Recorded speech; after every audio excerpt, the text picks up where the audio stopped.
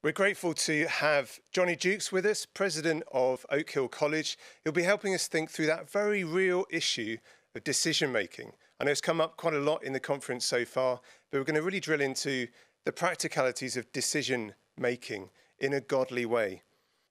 Well, let me add my welcome to you also. And let's begin in prayer. Christian ministry begins with prayer. Lord of the harvest, we're grateful that everyone we ever meet is made by you and belongs to you. And we ask you to, that you will help us to see the world the way Jesus sees it, and to love the world the way Jesus loves, and to give ourselves away as Jesus gave himself away. And we ask for the honour of his name. Amen couple of things to say about the sort of shape of what we're going to do. We're going to start each of our sections of this time together in prayer, and then we'll turn to God's word. And in a moment, I'm going to turn to the verse from which I've just prayed and which was on the video we saw just now. Then we'll think about some of the dynamics of decision making. One of my aims in our time together is, is if I can, to, to help you to think about the way you currently make decisions and to see what's the same and what's different about this decision uh, that you might be facing as you think about your next step. We're going to, have a spotlight on women thinking of going into ministry uh, in one way or another. Uh, in our churches, we sometimes forget that more than half the planet is, uh, is female. So we want to focus on, on, the decisions that women particularly face together. And then I want to, if I can, serve you well by being a signpost to a whole series of other resources, and I'll show you as we go along where they might lead us. So let me begin then, having prayed with God's word, and read that uh, verse, the two verses in which the phrase at the heart of the video just now was uh, taken from. So, Luke chapter 10, verse 1, very early public ministry of Jesus. After this, the Lord appointed 72 others and sent them two by two ahead of him to every town and place where he was about to go. He told them the harvest is plentiful, but the workers are few. Ask the Lord of the harvest, therefore, to send out workers into his harvest field. All through my childhood, I remember driving with my father around the uh, farm to see what kind of harvest was there going to be uh, in the months that uh, lay ahead, looking for uh, weeds or other kind of damage to the crops. And this thought from the Lord Jesus Christ is extraordinarily stark, and striking, and encouraging. In verse 2, he says, The harvest is plentiful. And as we prayed just now, do you see what Jesus sees? Which is that the harvest is plentiful. And do you see what Jesus knows in that same verse? That the harvest is plentiful, he says. And do you see what Jesus promises? In that same verse, the harvest is plentiful, he says. We can easily see what he says next, which is that the workers are few. And no doubt that was true when uh, he first said it. They could see that just as easily then. 72 or so was a tiny number to send out into all the world for a huge task. It's always been true everywhere that it feels as if the workers are few when set alongside the scale of the harvest. We're going to need the whole church to reach the whole world, that's for sure. But you see what Jesus says by way of response. He says, Ask. And the word is a really strong one. It means plead, implore, forcefully, repeatedly. Ask the Lord of the harvest. And what are we to ask him to do? To send out labourers into that harvest field. It's clear that from the vocabulary, they weren't necessarily involved. They must be sent, not sent by the minister, not sent because they've had their arm twisted, but sent by the Lord of the harvest in answer to prayer. If you like, a sense of non negotiable divine insistent, comp- consistence, compulsion, conviction in answer to prayer. Now, I know that you, you know this, but I want to start by saying here's the first decision Will you do as Jesus says?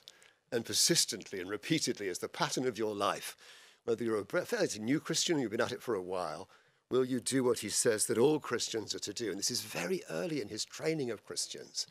Will you ask the Lord of the harvest to send out laborers and then see what happens? He might send you, he might send someone else. What I want to do now for a moment is to think with you about decision making and to offer you just a chance to listen to Daryl Williamson, who gives some really seasoned and sensible advice. Let's spend two minutes with Daryl Williamson.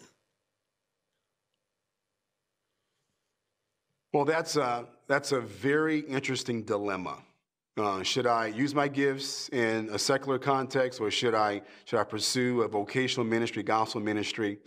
And uh, to be clear, it's a very difficult thing to discern. It's not very straightforward. And I think I think we're tempted to make that decision based on giftedness. If the person uh, has um, um, the giftedness to, to teach, or they have an affinity for the word, and uh, that perhaps they should be pursuing gospel ministry. Um, and I think the other thing, even, that very often, sometimes early in ministry, those who are gifted, those gifts have not flowered yet. They have not developed yet. And I think it's possible to be uh, discriminatory against uh, a gospel ministry calling. Uh, but the thing I look for is where's the passion? And I'm not talking about just the interest. I think, I think there are a lot of people who can look at, um, say, a John Piper preaching or a Tim Keller teaching and think, I want to do that. That's what I want to do. I don't think that's the indicator. My question is, is do you have a true burden and heart for God's people and a yearning desire to see them grow?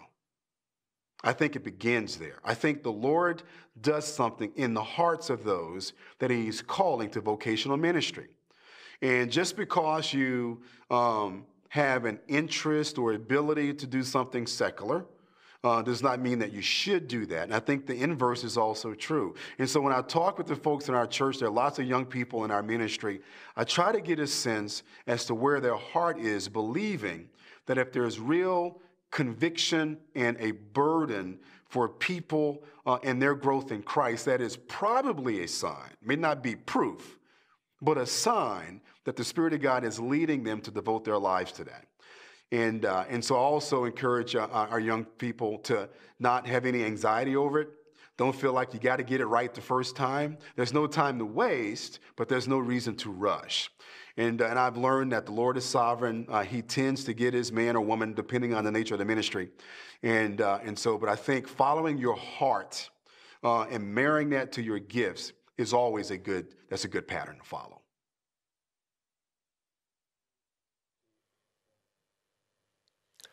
Later on, go back and watch that again. So sensible.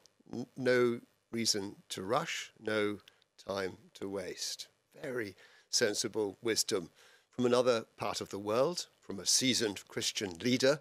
One of the ways in which we make this kind of decision is to listen to other voices other than our own, as well as seeking to work out what God is doing in stirring up our own hearts and the desires that He's giving us. One of the things that we'll do in this time together is move in our mind's eye from, if you like, ordinary decision making in other areas of life and see whether principles that apply there also apply here as we think about what feels like a much bigger decision and what the way forward for us might be personally. And I want to focus for the first time on um, a, woman making a decision, talking about a decision, talking to other women about the decisions that she has experienced to making. Let's listen to Megan Hill for a couple of minutes for most of us, I think the decisions are not between an obviously bad thing and an obviously good thing.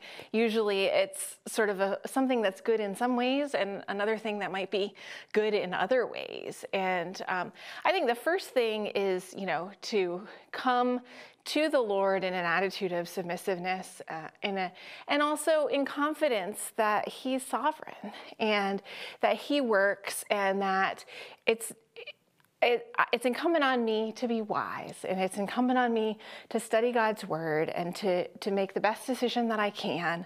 But I'm not going to mess up God and I'm not going to foil his plans and it's not, I'm not going to miss out on something because I chose a different decision. Um, so I think to be encouraged in that, not to be fearful of decision making. And then I think God's people can be so helpful in that and the wisdom of older women, the wisdom of the elders and leaders in your church, the wisdom of your pastor, the wisdom of a friend, somebody else who has been through many decisions in their lives and can help you and maybe see the, the whole picture and give some direction of what to them seems good. And to, you know, the Lord promises that there's blessing in seeking wise counselors. And I think we can have confidence in that as well.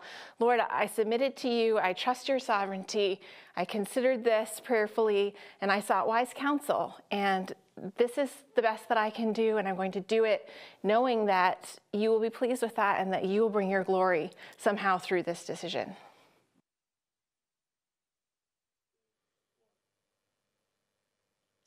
You're not going to mess up God. I love the way she put that, didn't you? And again, may I encourage you later to go back and listen to her again, whether a woman or a man. Uh, in seeking counsel from others, it seems to me that uh, Titus has a lot to offer on that, that we need to look out to listen to the mothers of the church and the grandmothers of the church, the grandfathers of the church. They've seen people trying to make decisions like the one that's facing us before, and they have much to offer us and much help to provide for us as we pray and seek to discern. As part of good decision making, let's ma- make sure that there's a range of voices from different generations within God's people, uh, as well as our own voice and those who are the same age as, as us trying to help us. So that was our first spotlight. I, I, promised then at the beginning that I was going to try and be a kind of signpost for you to other kinds of resources. And the one I want to point you to now is a voice from the States. And uh, the voice here is Robert Smith Jr. I think you'll enjoy him as I have in putting this together for you. So we'll head off there and listen to him as a sample of the kind of resources I want to signpost for you. I try not to steer um, young people either way. Uh, I want to provide them with the ministry of presence because I, re- I really believe that no Christian has a job. Every Christian has a ministry. I'm convicted by those words in Acts chapter 8, verse 4, that these persecuted Christians who fled from Jerusalem they were scattered, and everywhere they scattered, they scattered the word. And so I believe that's true with every Christian, that if we're in a vocational context, we don't have a job, we have a ministry. If we are bakers, we're there ultimately not just to bake bread, but to tell people about the bread of life. If we are geologists, we're not there just to sell diamonds on rings but to tell people about the pearl of great price. We don't have jobs, we have ministries.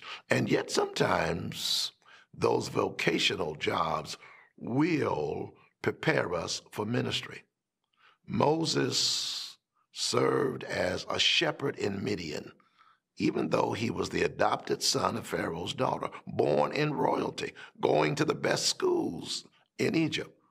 And yet God used those 40 years in Midian when he served as a shepherd for a 40 year ministry in leading Israel. His vocational ministry prepared him for his spiritual ministry of leadership in leading people. And so I keep that principle in mind. Young man, young woman, you don't have a job, you have a ministry. And you may start with a vocational job, but know that even on that vocational job, God has called you to ministry to represent Him in that context.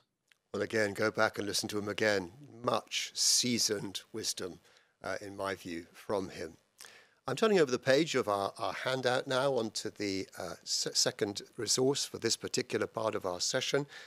and a conversation, 25 minutes of conversation between three uh, Christian leaders, seasoned Christian leaders, I think mainly from a Pentecostal background, speaking in the States and handling some of these issues around calling. What do you do with a sense of calling? It's a great conversation, well worth the time to listen to it.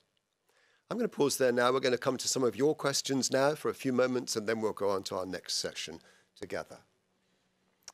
Thank you, Johnny. Um, yeah, a couple have come in here. Great that you're considering women in this area. You, you, mentioned that they are half the planet. Um, it's a bit strange that we don't talk more about um, women's ministry in every area. I don't know if you want to just say anything more on that. That's obviously something that you've been thinking about a fair bit.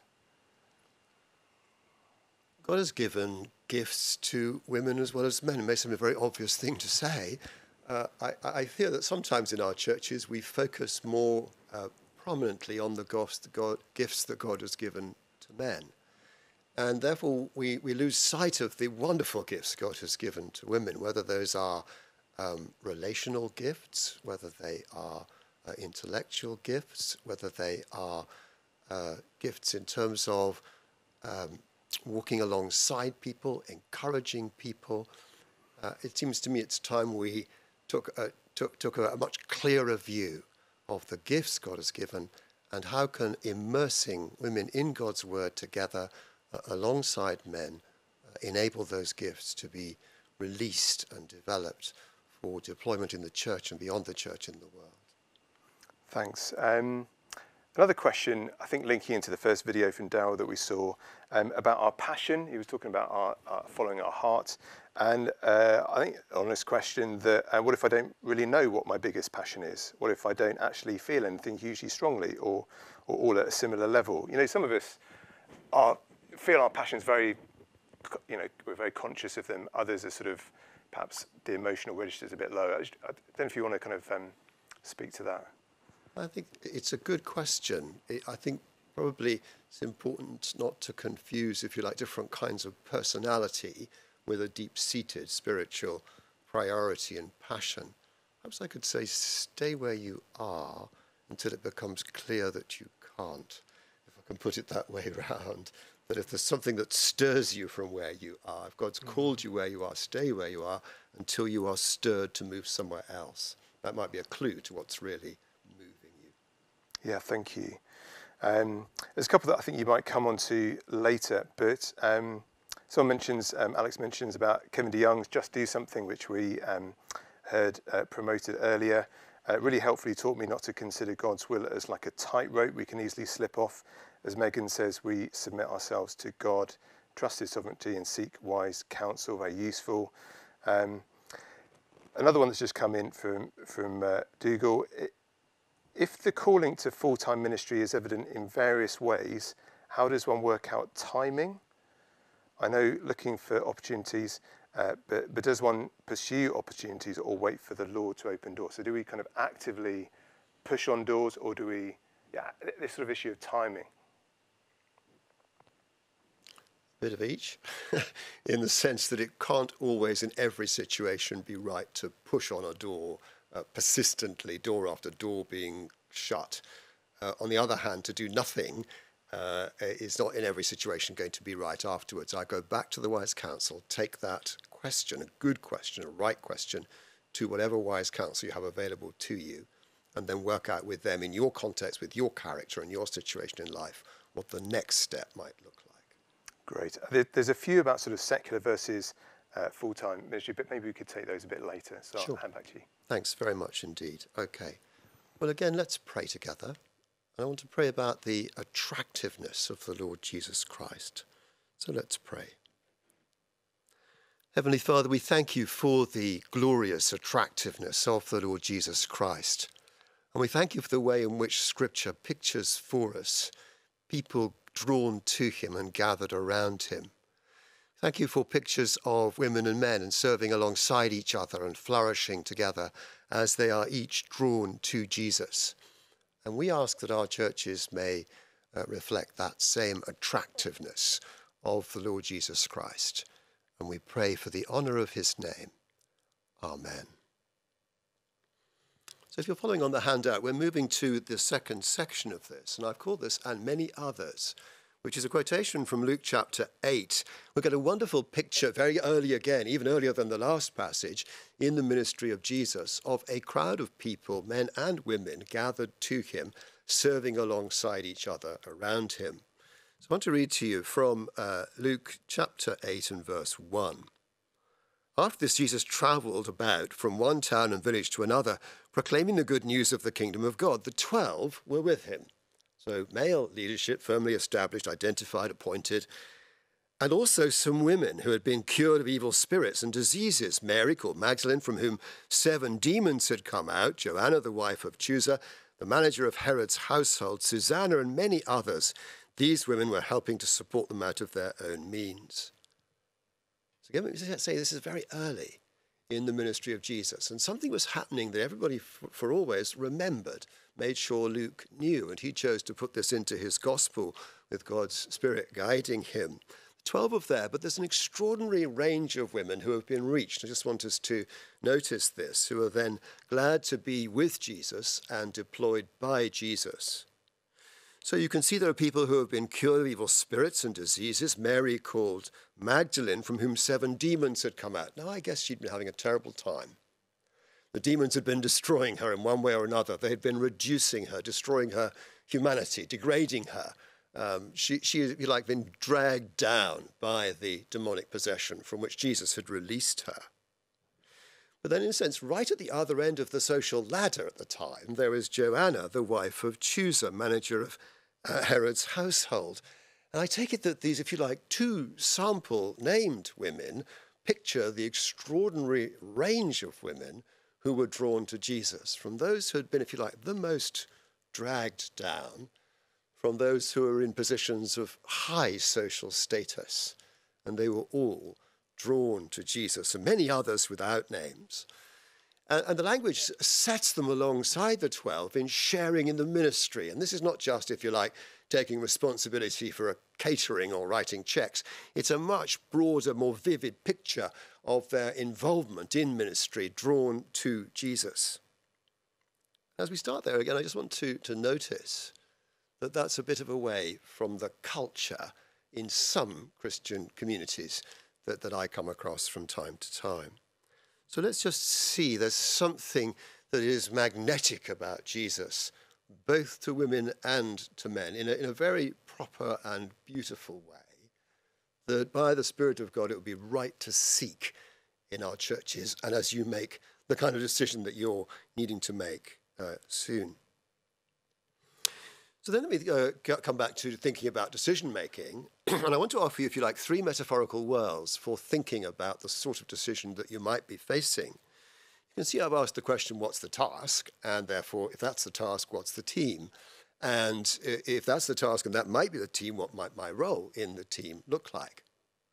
A fairly familiar metaphorical world for thinking about full time Bible teaching, pastoral, evangelistic, apologetic ministry is the world of GPs, general practitioners, so people who are trained to be medics of a particular kind.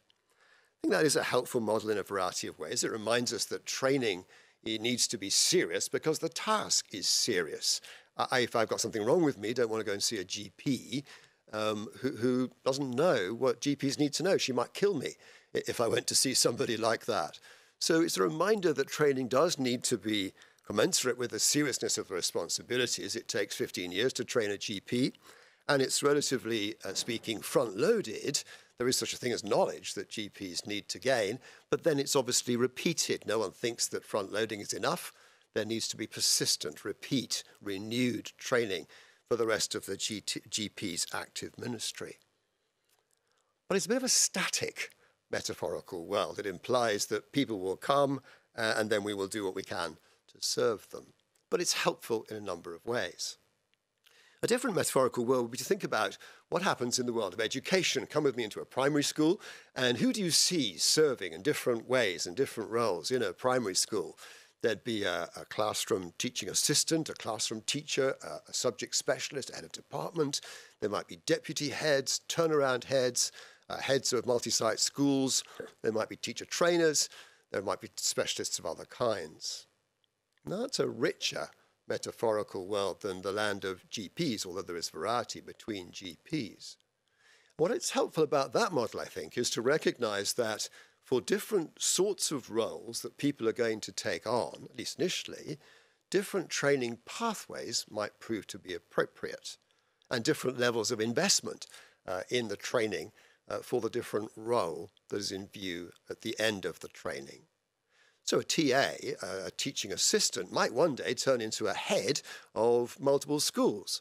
But the sort of training to be a teaching assistant would be different from the kind of training that would be appropriate for somebody who is going to take on several schools as their initial responsibility. Still a bit static though, because children generally go to where schools are. A third metaphorical sort of world in which to think, think and is illustrated on the picture there, is what does a disaster relief team need? And if you think of the world in which we find ourselves as in some ways um, subject to spiritual disaster, what does relief look like? What does a relief team look like?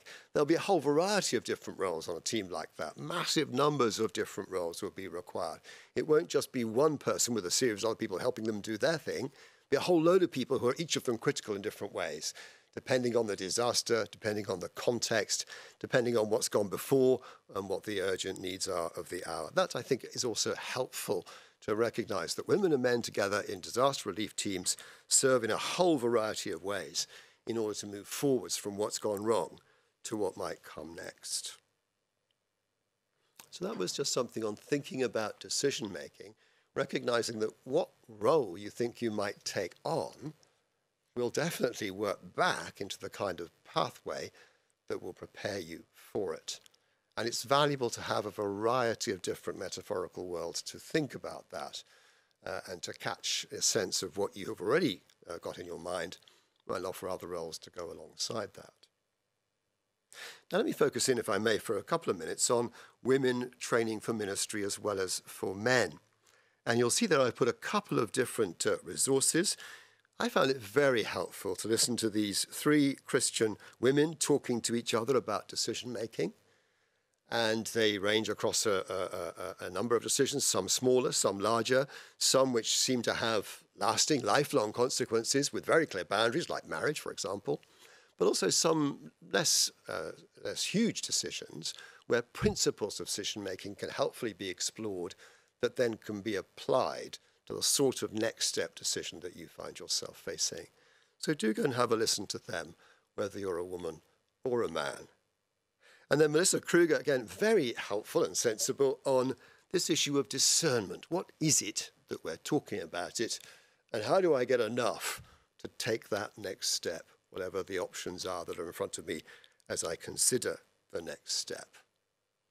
But in this little session together, I want to turn over and just to, to as a signpost, offer to you a couple of further things I think may be helpful. Doug Wilson's interview is well worth uh, spending time with, just uh, seven minutes for that, where he says, Do you have a reading list for someone seeking the call?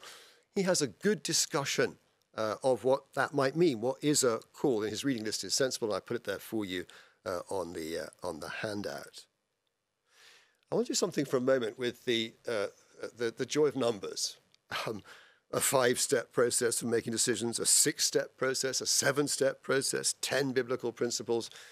Once you've been around a little while and you've seen different sets of numbers, you start to wonder about the value of the whole idea of trying to identify those numbers.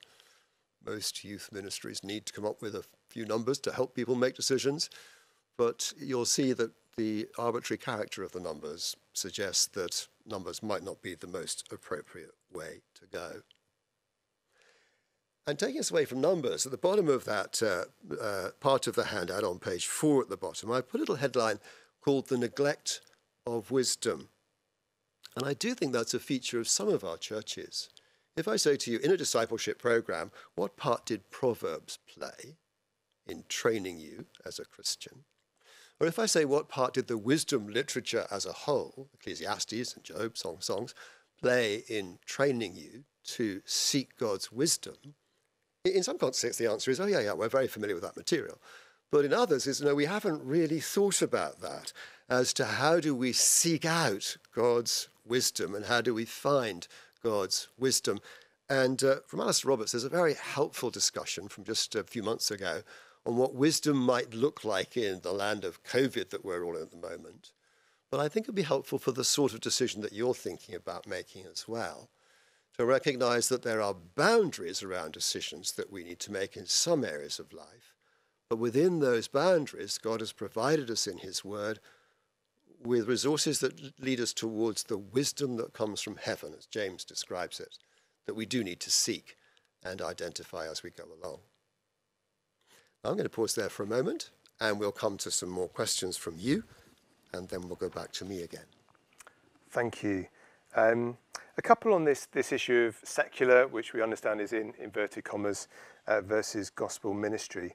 Uh, one question, in a secular job, in inverted commas, is the only slash main opportunity for gospel ministry evangelism? Or is opportunity for godliness slash giving glory to God, um, for example, through being a Christian medic, giving good medical um, treatment, of equal worth? Hmm. I think Richard was talking earlier, wasn't he? And I wasn't here to hear him talk, but somebody mentioned to me that Richard was talking about, uh, if you like, creation opportunities and new creation opportunities. And I, I, I kind of wouldn't want to pitch them against each other, although it is sensible, it seems to me, to prioritize one over the other. So, is what God gives to ordinary Christians to do for most of their time around the world through most of human history in most cultures a waste of time? Well, clearly not. And does God not care about what Christians do with their time and with the character that they take with them to work, whether they're farming or whether they're uh, doing accounting or whether they're designing websites? Uh, no, clearly not. God gives to his people responsibility to be filling the world, subduing it, and, and working for his glory, both when the church is gathered, but also when Christians are scattered. Thank you. I mean, the next one sort of follows on from that, but perhaps sort of going into a little bit more practically. How do we weigh up the value of the opportunities provided by a secular vocation versus entering full time ministry? So I guess I might look at it and see I've got these opportunities here. How do we even kind of begin to yeah. assess that? I think the first little video we watched at said that's not easy, and I don't think it is.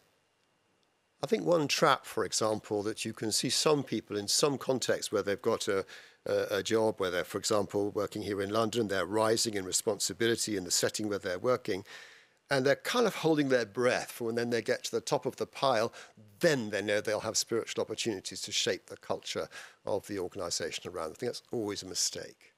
We need to calculate the opportunities today as far as we're mm. able to, rather than wait mm. for tomorrow. I, I, think it's easy, if I can put it this way round, to underestimate the opportunities that there are by staying where you are, mm. and to overestimate the opportunities of switching into a, a, denominational structure of one kind or another that will bring with it quite a lot of opportunities, but also quite a lot of constraints. Mm. Um, mm. A little bit like mm. that church building next to the flood in the uh, first part of our handout. It's easy, in a sense, to get locked mm. inside a structure whereas in another context you might have more freedom for manoeuvre. Mm. I'm just on a very, this is a very specific one. Um, if um, someone's talking about the one-to-one discipleship, so if one-to-one discipleship is your passion, would this actually be better suited in the workplace than say if your passions or giftings were preaching slash teaching? It could be. That's a good. That's a good short answer. Thank you. Um, another quick question, um, but again a very practical one how much time should someone consider someone considering gospel ministry spend reading each week? I mean, I guess it depends on your reading speed, but um, any, any sort of pointers on that? You obviously read a great deal. As much as you can.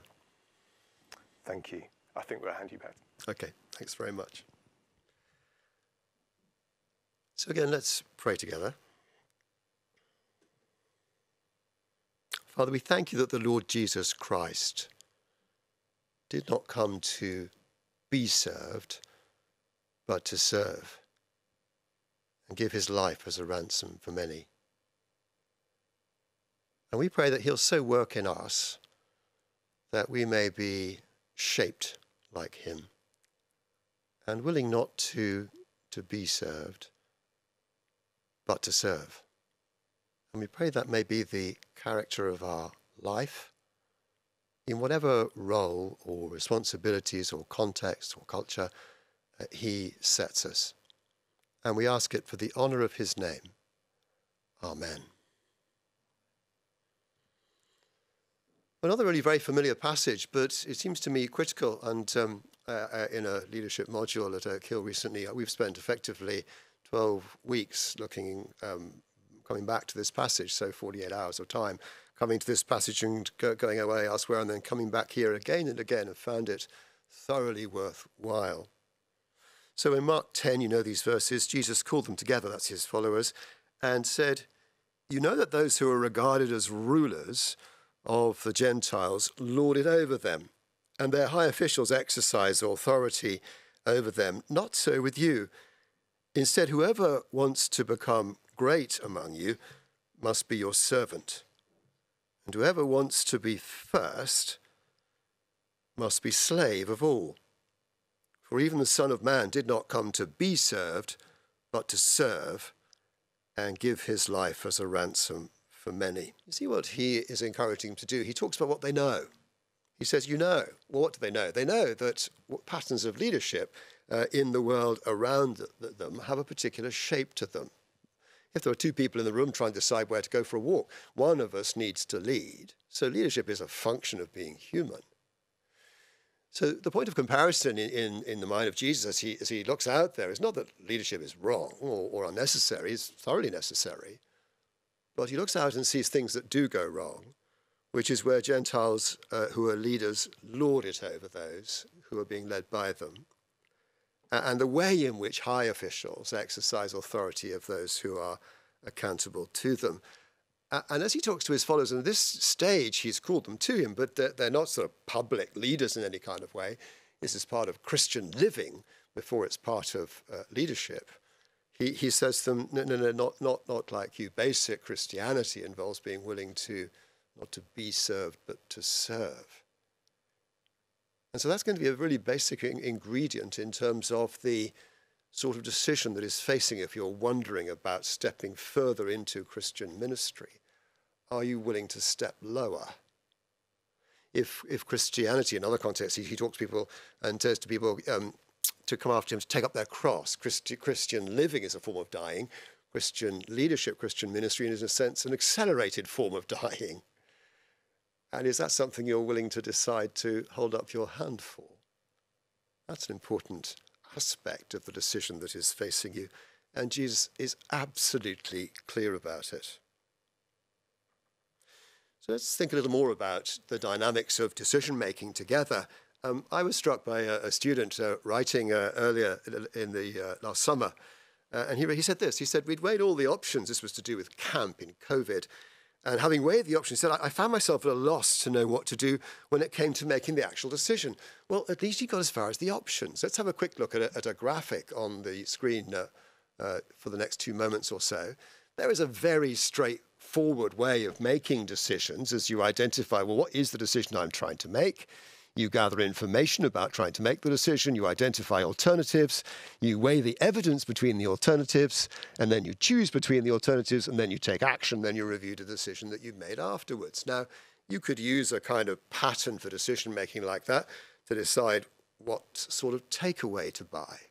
Or, or what book you're going to read next, or where to go on holiday, a whole range of areas of life a straightforward pattern for decision making like this might be helpful. And it would be foolish to ignore the usefulness of something like this as you identify your next steps. And in some ways, it seems to me it's, it's helpful to articulate the process by which you're going about making the decision and who is going to help you at each step along the way. You could choose a different framework. I offer it to you so that you can think about the framework you're already using for making this kind of decision. I put some other resources there on the outline for you. I want to think for a moment again about women as well as men making these decisions. And I flagged up for you again, we're coming back to Alastair Roberts, and there's a link to a very valuable article from him thinking about dominion. If God gives dominion to men and women working together alongside each other within his creation, does the experience of dominion, if you're a woman or if you're a man, necessarily follow that it's going to be the same?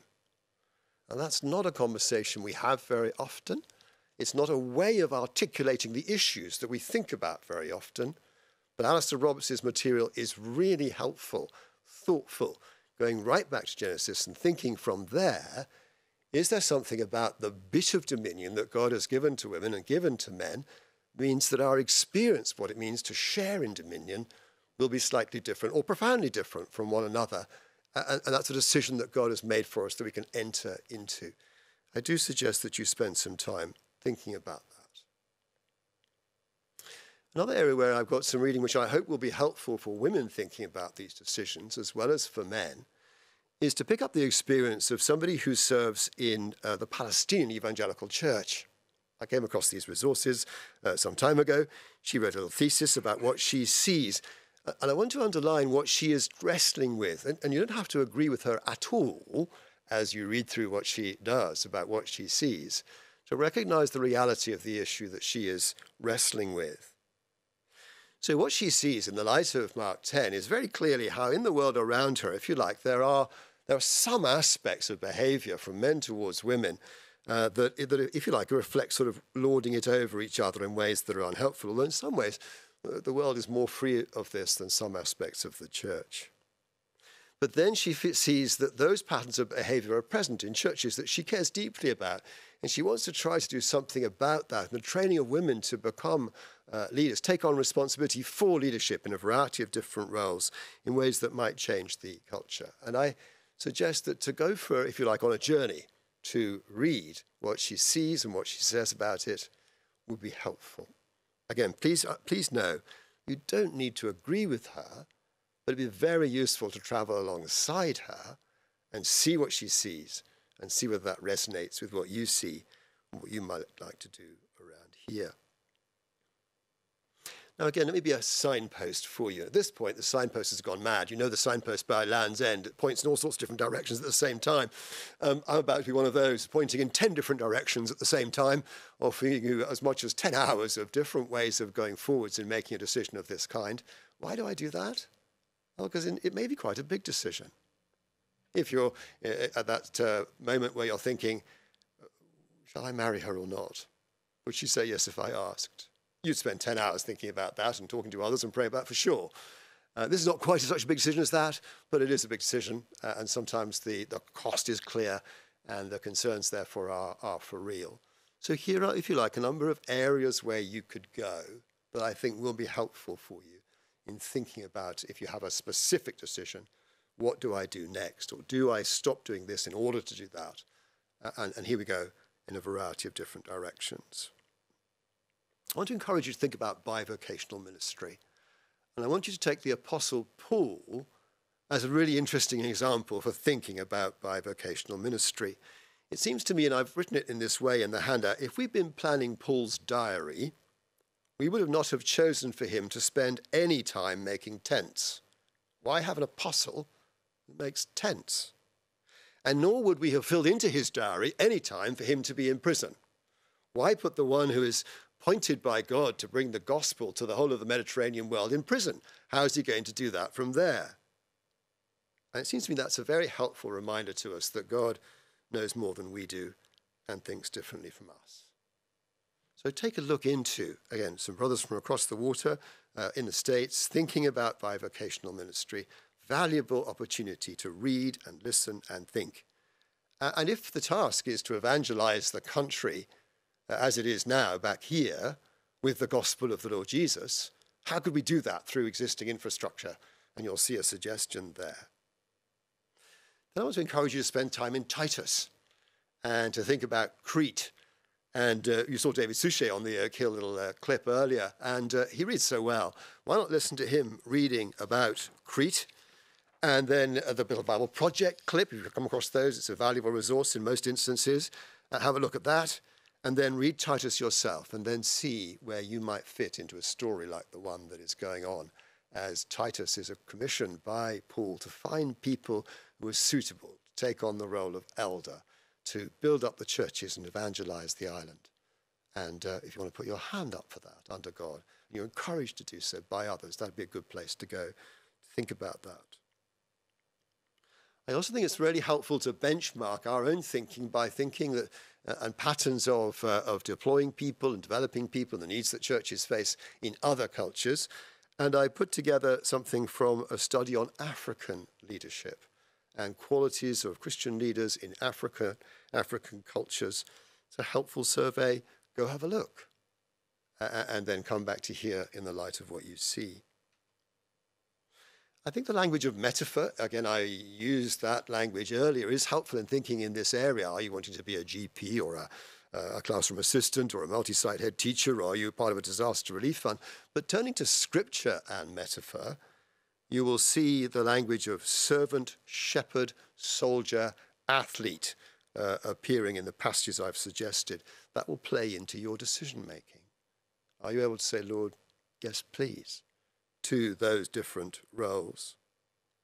Again, to spotlight on experiences that women have in cultures across the world and in churches across the world, a collection, two collections of essays showing some of the challenges that women face in other parts of the world, again, again helpful for here. Have you talked to your parents? If you have parents who are living, have you talked to them? They know you better than anybody else to spend an hour listening to them, they'd appreciate that, whether they agree or support or identify with either your faith or the decision that you're contemplating. Again, you'll notice if you read the pastorals as you think about this issue that very often the reputation of the church in the world is an important ingredient of what um, the apostle is establishing or defending. And again, if you're in work uh, or you, you have friends who share sport with you or live next door to you, no, you do not Christian, don't share your faith. Could you sit down with one of them, obviously outside COVID land, sit down with one of them and say, Well, I'm thinking of this. What, what, what do you want to say to me? What, what do you think about that? And to see whether, in the eyes of someone who knows you well, you could commend the gospel of the Lord Jesus to them if you took on this kind of role. Training pathways we talked about a bit. I think we ought to want to say that at Oak Hill we believe that the uh, if you like, the demands of ministry are so deep and so broad that training needs to be deep enough and broad enough to develop the character and the convictions and the kind of competencies that match the scale and depth of the task. We're, we're at an interesting time denominationally. There are all sorts of different groups of churches uh, in all kinds of cultures and all kinds of settings. They're shifting and changing a bit at the moment. Again, I think it's important to, to think about not just you personally, but where do you want to land? What kind of community or cluster of churches do you want to serve in beyond any kind of training that might be ahead of you?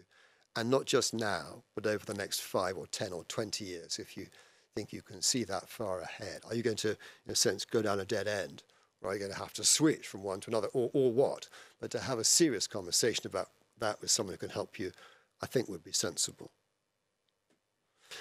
And then before we come to a question, I, I do think it's important to go back to that night before Jesus died and look again at what he does with the towel and the bowl, and then to listen to what he says about that. He, he says what he has just done is not only, if you like, an acted parable in advance of what he's about to do on the cross, but it's the pattern for all Christian living. It's the pattern for all Christian ministry. And so, one of the decisions that you're facing, and a vital aspect, of the decision you're facing is are you up for that?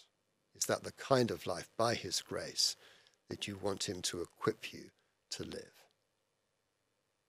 Now, for a question or two. Thank you very much, Johnny.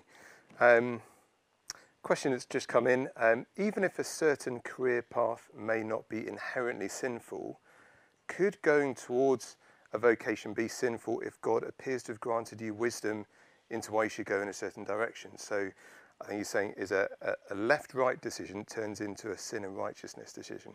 Is it possible for the wisdom category to then sort of drift into a sin, a right wrong decision because God has made it so clear that you should go down a particular path? It's really hard to answer that without knowing you and knowing the situation that you are facing. I suppose one situation I can think of in the book of Acts where there was a door that was open for what looked like gospel ministry and looked like it would be fruitful. No reason to think it wouldn't be. But at that moment, they came to a conviction they shouldn't go through it. And I, I, guess when you're looking at this in terms of are you drifting, drifting is not the word I would use, are you staying where you are, discerning that it's wise to remain where you are? if you're seeking God's discernment and wisdom, you can trust Him to give it to you mm. rather than leading you, mm. drifting along in a direction that's becoming sinful. The Holy Spirit will convict mm. you of mm. sin if you are sinning mm. in that mm. instance. Yeah, thank you. Um, a very uh, real one. How do you work out what decision to make when the advice and counsel from leaders and older believers is very varied? Uh, it seems to be pointing you in all sorts of different directions. Take your time the uh, varied device, advice may, may clarify, it may not, but in the end, the responsibility for whatever decision you decide to make is yours and not theirs. And the advice that they're trying to give you is to enable you to make the decision under God, not to take away your responsibility to make your own decision. Don't let anyone ever do that to you. Mm, thank you. Um, so I'm talking about specifically if, if you're still at university, how could you best use that time to work out whether you are being, this is called, I think, sort of being led into gospel work? In COVID land, that's quite tricky. Again, I think I'd want to encourage you to talk to the church leader in the context in which you find yourself and look for opportunities to serve and to serve in all kinds of different settings, whether that's among those who are older who might appreciate time with you and a, a word, um, you sharing the word of God with them, or with those who are younger. Look for very ordinary ways in which you can serve, and then go back to the church leader. Does that make your heart sing? Do the people who hear you do that want you to do it again, or would they rather you didn't? Uh, in other words, you can, you, can, you can seek to serve and then mm. build on the opportunities to serve that are already present for you. Mm. I think you're starting to answer the, the, the, the, next question, actually, which is that should a role that we think uh, we may be called to influence our pathway into it, or should we use the training pathways to discern what our role should be? So, uh, e.g., taking a more trainee position, uh, going beyond a, a, an, apprenticeship. I think the question is, um, yeah, do I think? I, I, think this is where I should be getting to. I, I try and move to go there, or I'm already going this way. Do I use that as an opportunity to find out where I should go?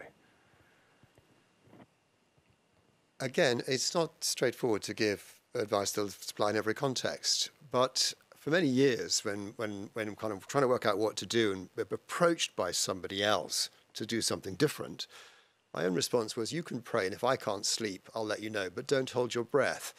And I found that quite helpful in the sense that where God had put me was where I was going to stay, unless there was an obvious reason to move somewhere else. Mm.